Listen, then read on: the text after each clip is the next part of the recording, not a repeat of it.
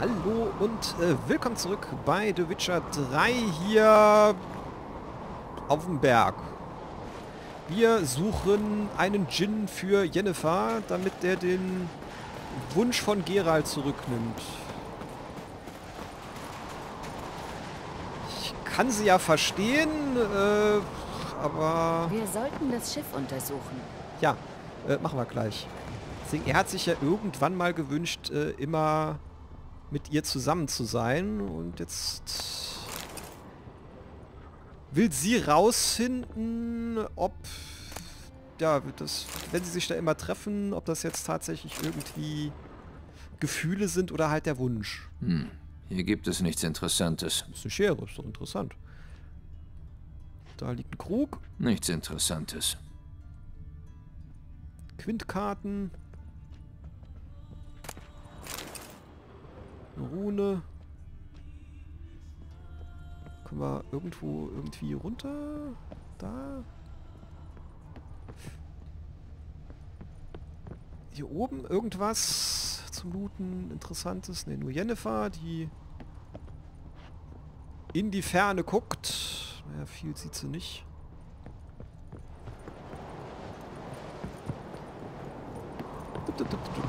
So, da ist auch nichts. Ah, hier geht's roher runter.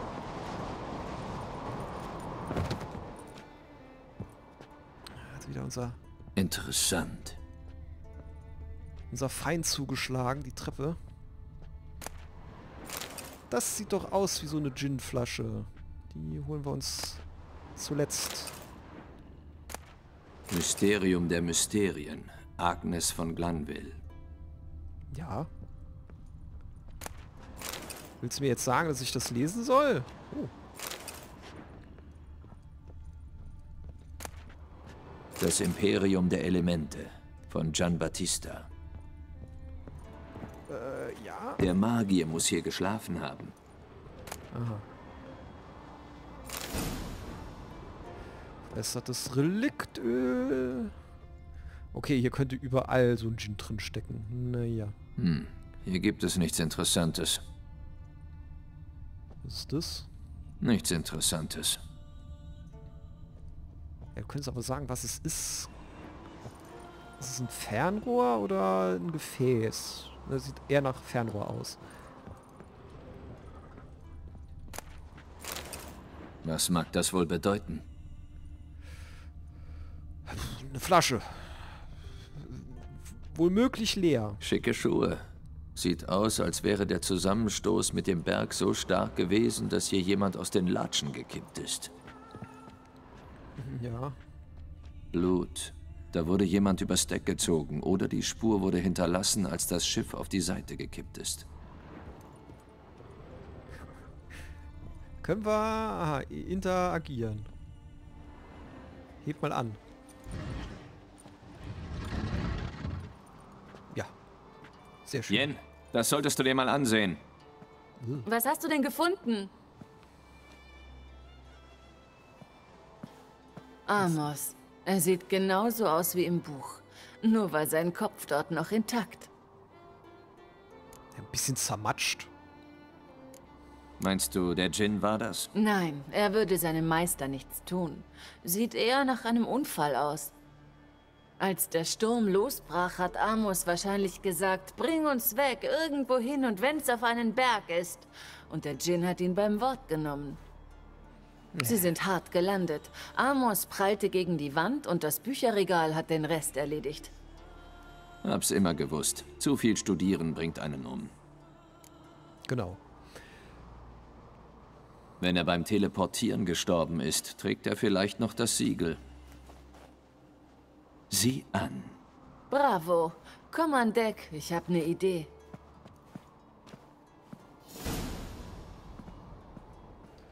Die Kälte hat die Leiche konserviert. Hm.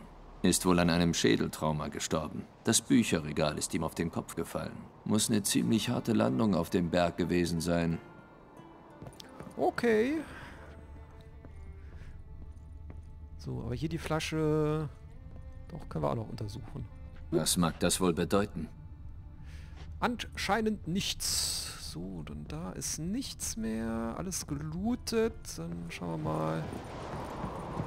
Wo Jen ist. Jen? Jen. Hallo. Wo ist sie denn hin?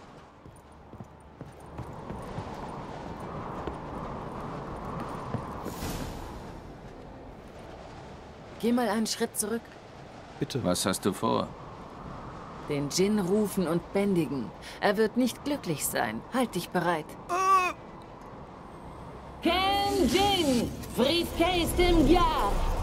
Keistet Visgler, Querit Mikassel.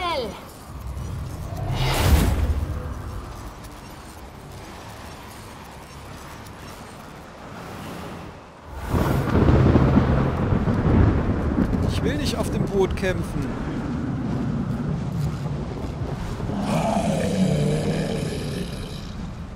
Okay. Du hast sicher einen Plan? Du musst ihn schwächen, während ich ihn in die Sphäre ziehe. Wollen wir es andersrum machen? Wie schwäche ich den?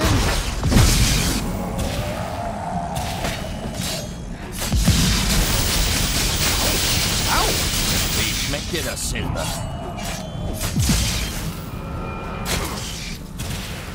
Ja. Au.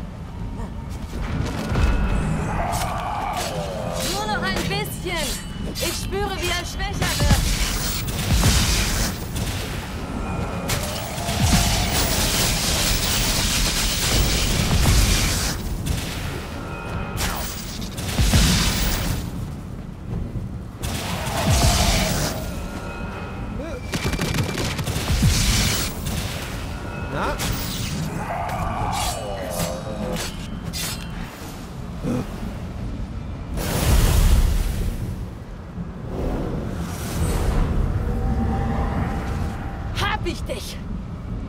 Ja, Dein ja. Meister konnte seinen letzten Wunsch nicht aussprechen. Ich kann dich nicht bannen. Wir können noch ewig so weiterkämpfen. Oder ich lass dich frei, wenn du eines für mich tust. Siehst du den Zauber, der uns verbindet? Nur ein Djinn kann den Zauber eines anderen Djinns brechen. Tu es, dann bist du frei. Du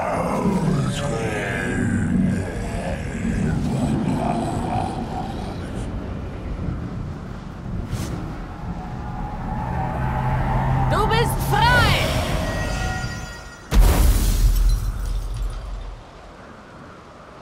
Okay, runter vom Schiff.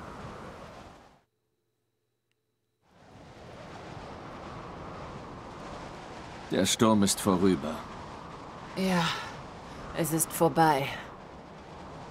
Wollen wir uns hinsetzen? Du siehst benommen aus. Bin ich nicht.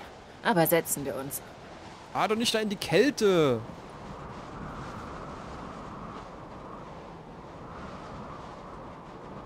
Können wir nicht irgendwo, wo es warm hier ist?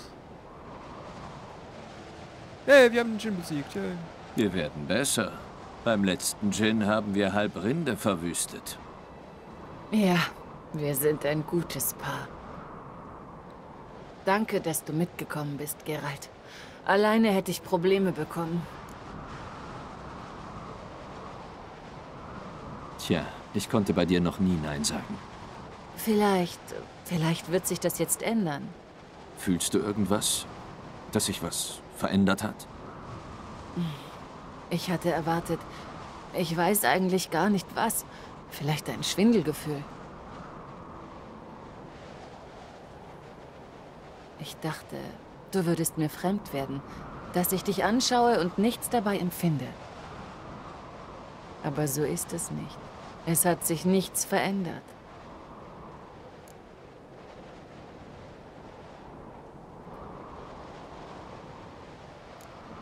Vielleicht hat uns der Gin ja auch reingelegt. Warum? Ich spüre nämlich auch keine Veränderung. Ich liebe dich, Jen. Und ich liebe dich.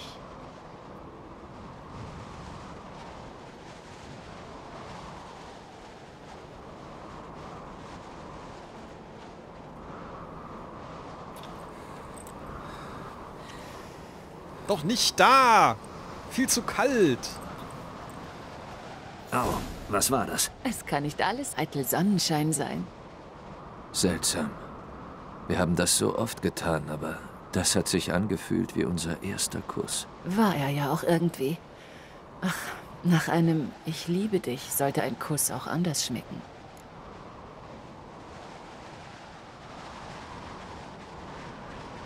Äh, können wir nicht zuerst wegporten und dann?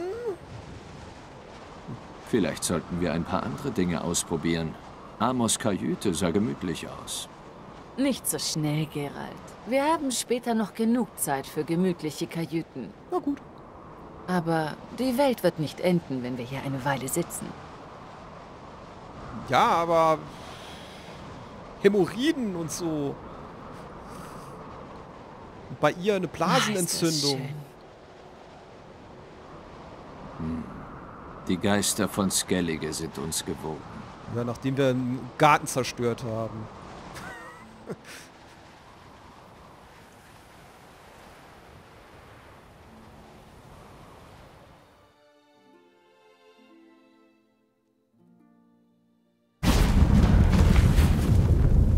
Nächstes Mal reiten wir. Ein Pferd hätte es niemals den Berg runtergeschafft. Und jetzt? Tja, ich muss nach Büsima.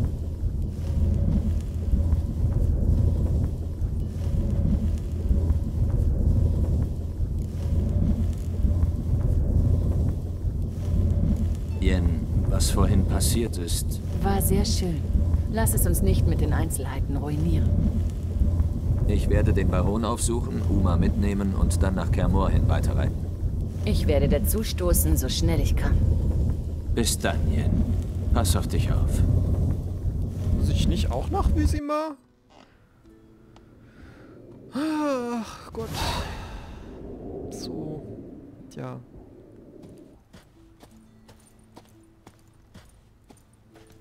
Was können wir denn hier alles einlagern?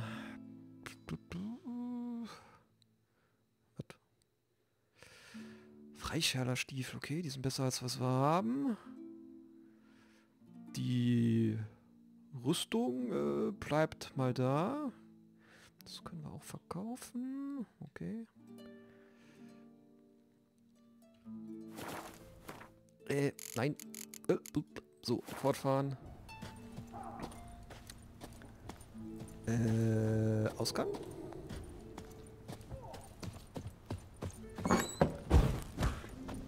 Sie gerade einen Riesen getötet, aber jetzt hängt er in und verführt die Mädels.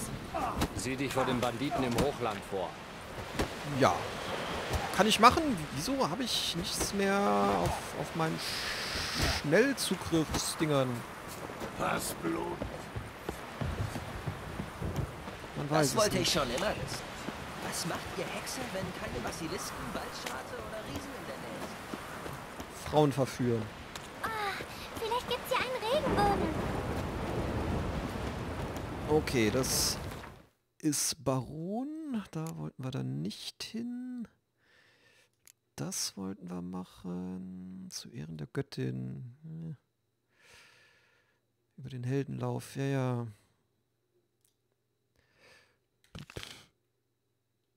Äh, äh, wo war... Wo war denn da? Eigentlich da, wo wir nicht mehr hin sollten, ne? Da. Aha, Freyas Garten, dahin. Na gut. Äh, zack.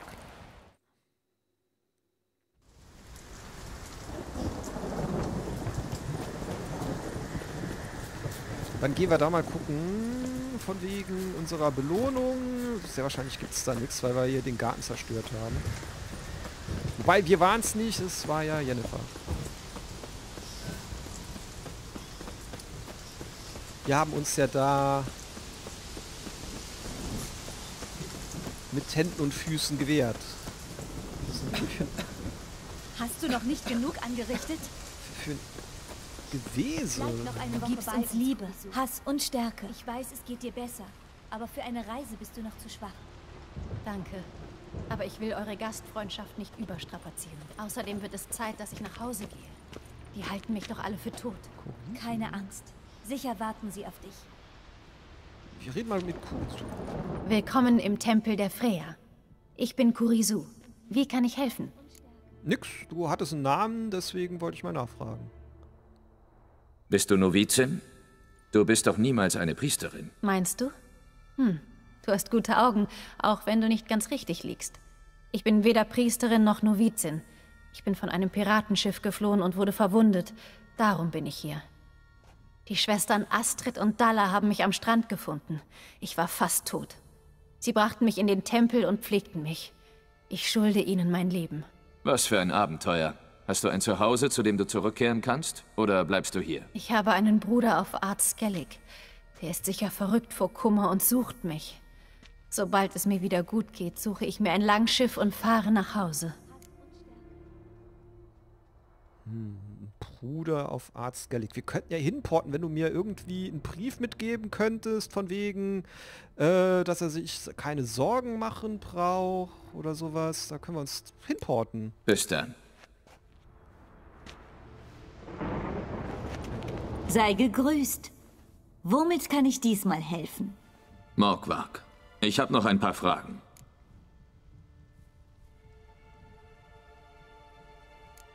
Morgwag, nie gehört. Was genau ist er? Nicht was, sondern wer. Ja, ja. Der schlimmste Mann, den es auf Skellige je gegeben hat. Nichts war ihm heilig.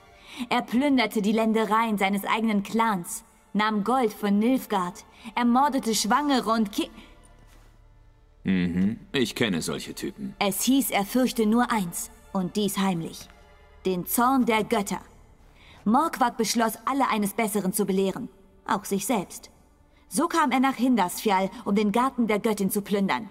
Das war vor vielen Jahren. Ja. Die Erzpriesterin Ulve verstellte ihm den Weg. Er erstach sie und warf sie in den Dreck. Während sie verblutete, verfluchte sie Morquag und er verwandelte sich in ein Monster. Es kann sein, dass ich diesen Morgwag schon getroffen habe. Ist das ein Werwolf? Ich weiß es nicht. Ich... ich habe ihn noch nie gesehen. Das ist nicht Schade. hilfreich. Ich hatte gehofft, dass du mir mehr über ihn sagen könntest, was mir bei meiner Arbeit hilft. Du könntest mit Torda, Sohn des Einar, sprechen. Er hat Morquag und seine Männer in den Garten einfallen sehen. Leider war er der einzige Pilger, der diesen Tag überlebt hat. Er wohnt in Larvik. Ach so, das ist der... Dort findest du ihn am Anleger, Ja, ja, falls er nicht mit- auf See ist. Mit dem haben wir schon geredet. Ist, ist ja gut. Der Fluch? In der Mitteilung stand nichts von einem Fluch. Alle, die hier leben, wissen davon. Mag sein, aber ich lebe nicht hier. Ein paar Informationen wären nützlich. Erzpriesterin Ulva hat den Fluch gewirkt. Mhm, das sagtest du schon. Er bindet Morquag für immer an den Garten. Dahin kehrt er auch zurück, wenn er getötet wurde. Ich bin wegen meiner Belohnung gekommen. Aber ist denn sicher, dass... Morgwag ist erledigt, für immer, sonst kriegt ihr euer Geld zurück. Ich verlasse mich auf dich, Hexer. Du gibst uns Liebe, Hass und Stärke. Okay, ein bisschen Geld haben wir bekommen. Eigentlich wäre es ja auch nicht nötig gewesen. Du gibst uns Liebe, Hass Wir haben ja und hier Stärke. zerstört. Wir hätten es ja jetzt hier irgendwie spenden können. Können wir es hier spenden? Können wir nochmal mit, mit der anderen hier reden? Moment. Die hier? Schreib einen Brief. Sei gegrüßt. Was bringt dich her? Bis dann. Okay, sie will keinen Brief schreiben, den wir ihrem Bruder geben können, damit er sich keine Sorgen mehr macht oder eventuell hier ein Schiff rüberschickt. Ich weiß ja auch nicht. Okay, ich würde sagen, ich mache dann hier an der Stelle Schluss und dann äh, gucken wir mal. Liebling der Götter, genau. Markieren wir schon mal. Weil hier die Tochter müssen wir ja noch suchen.